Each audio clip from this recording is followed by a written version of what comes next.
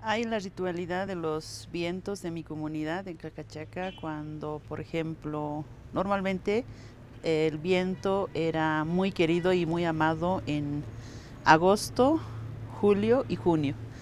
Es donde los cereales ya estaban secas, que se podría separar, digamos, de su cáscara.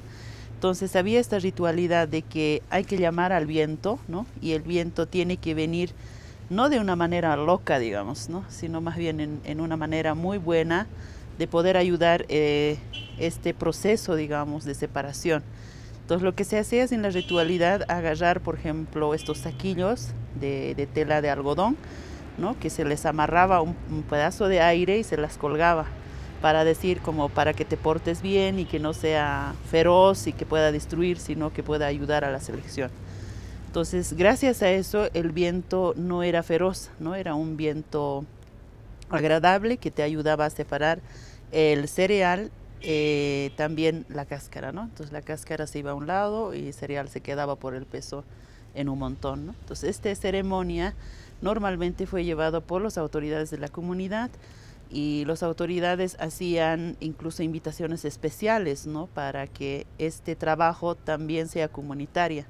Entonces, como la ceremonia iba a ser comunitaria, también el trabajo era comunitario de la separación de los cereales. Así es que todos tuvimos que mover los que tengamos, por ejemplo, habas, trigo, arveja, ¿no? Entonces todos había montones y montones muy al lado, al lado, al lado, y todos estábamos venteando, venteando para que realmente la separación sea en conjunto, ¿no? Entonces así fue el trabajo de la ritualidad junto al trabajo de los cereales.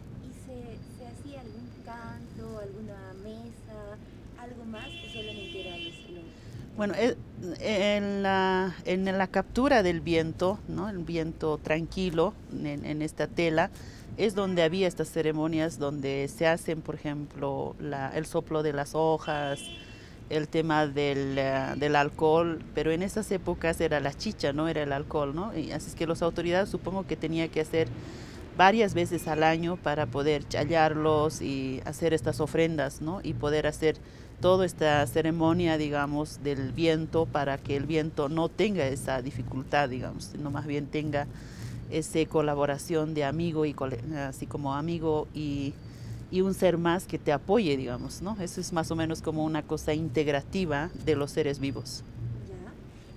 Aparte de, del ritual del, del viento de, de Cacachaca, ¿tú conoces algún otro ritual que se haga con el viento? Bueno, tenemos el ritual de la, de la, lluvia, en este caso el ritual del esparcimiento de las nubes, ¿no? Es una ritualidad de, en este caso, de las nubes pesadas que se llaman chiarchivos, ¿no? Estos chiarchivos eh, se dice en la narrativa que se había asustado por un choque de, de calor, en este caso sería eh, como decir una, una temperatura caliente que haya subido de algún lugar concentrado y que se haya chocado con las nubes frías, digamos, y en ese choque, dentro de las nubes, que las nubes están cargadas de agua, se ha congelado y está cargando granizo en este caso.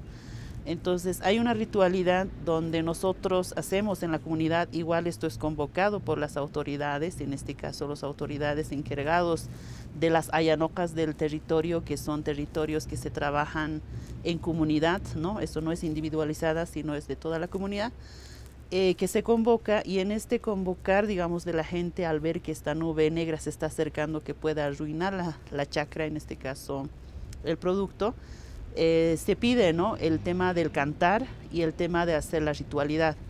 Pero esto tiene que ser rápido porque tiene que ser una acción y reacción inmediata porque las nubes realmente pueden asomarse muy rápidamente.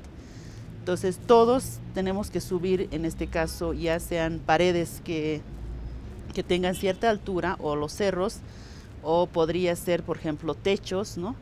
donde la gente empieza a gritar con una voz muy fuerte, como ya, ya, ya, ya, ya, muy fuerte. Y este grito de ya, ya, ya, ya, como es son la cantidad de las personas, dice que esa voz llega, ¿no? Es como el sonido fuerte llega a las nubes y esparce. Entonces, eh, en realidad el granizo ya no cae en tamaños grandes, cae más pequeños y es menos dañina. Entonces, en esa ritualidad hay varios, ¿no? El tema del canto, de gritar la voz, después hay el tema del fuego, ¿no? Esparcir con las, en este caso las nubes con, con el humo, porque el humo del calor sube hacia las nubes y esparce. Y por otro lado están las cenizas. Las cenizas eh, normalmente se las ventea con una tela y al ventear estas cenizas igual se va hacia las nubes que le da calor y empieza a que se calienten las nubes y que al calentarse pierde, digamos, esto hielo, ¿no?